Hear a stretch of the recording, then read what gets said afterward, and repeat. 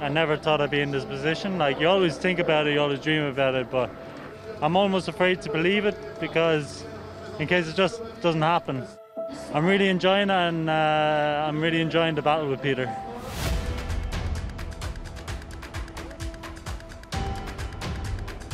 Sam Bennett dans la roue de Peter Sagan.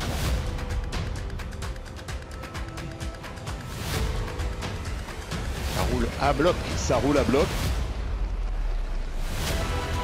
Matteo Trentin, troisième du classement du maillot vert, se rapproche à 15 points de Sagan. Donc très belle opération.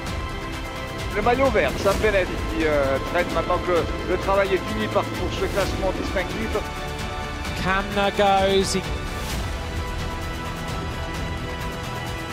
And now he can celebrate a stage victory in the Tour de France. His second win ever in his career. He sits up. If anyone can, Kamna can.